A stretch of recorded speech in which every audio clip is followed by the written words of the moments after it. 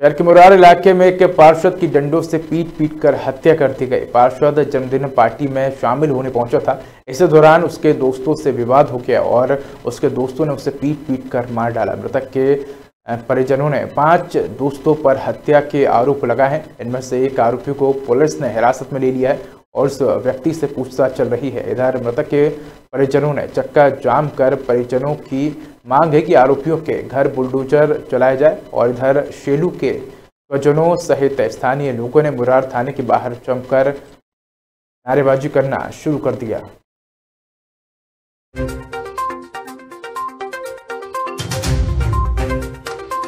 मेरे सैलू पासर जी, चले गए आके कह के गए थे कि मैं अभी आ रहा हूँ, एक आध घंटे से लौट के।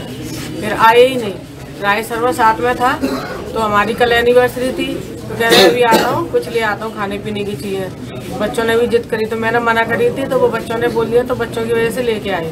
फिर रात को आए थे दस बजे, केक लेके आए थे, खाने की सब्ज़ी वब्जी लेके आए, रख के, और राय शर्मा के साथ चले गए। ये अभी सुबह परिजनों ने रिपोर्ट की है। कल रात्रि में एक घटना हुई थी, जिसमें जो कैंटोनमेंट एरिया के जो आठ वार्ड है, उसमें से एक में पार्षद है शैलू कुशवाहा। उनकी कल एक बर्थडे पार्टी थी और वहाँ पर कुछ झगड़ा हुआ था जिसमें कि कुछ लोगों ने इनके साथ मारपीट कर दी और जिससे इनका इनका देहांत हो गया, ये डेथ हो गई इनकी। तो आईपीसी सेक्शन 302 के तहत केस रजिस्टर किया गया है। इसमें पाँच नामजद आरोपी हैं जिन